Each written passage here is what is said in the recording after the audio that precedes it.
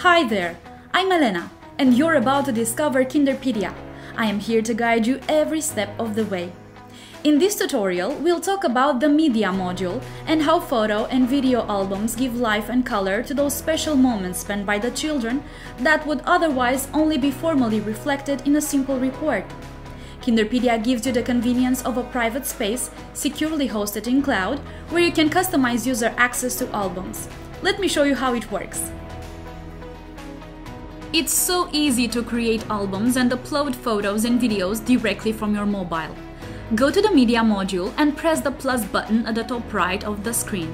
In the window that opens, just type the name and description and choose who will have access to the album. As the images you want to upload are most likely on your smartphone, using the app's Media module is the easiest and most accessible option. Good to know! Photos and videos are saved in separate albums. You can upload 30 photos at a time. If you have more photos, just upload them in several batches. You can upload a maximum of 800 photos in an album, but we don't recommend that many. Parents can tag their own children in photos and share them with other family members. From Kinderpedia web interface, go to Media module from the left side menu. If there are already uploaded albums that you have access to, you can view them here. To create a new album, click on the green button in the top right corner of the screen. Now you will enter a name for your album, a short description, the date of the album and the author. Most importantly, you decide who will have access to the images or videos you are about to upload.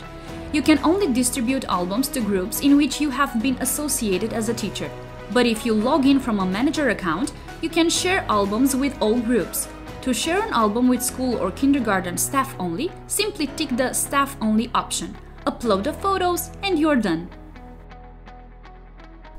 I hope you found our information useful, and I invite you to watch our other tutorials on Kinderpedia features.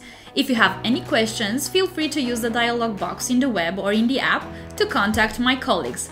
And don't forget to subscribe to our YouTube channel to stay up to date with all the latest news. Have a sunny day!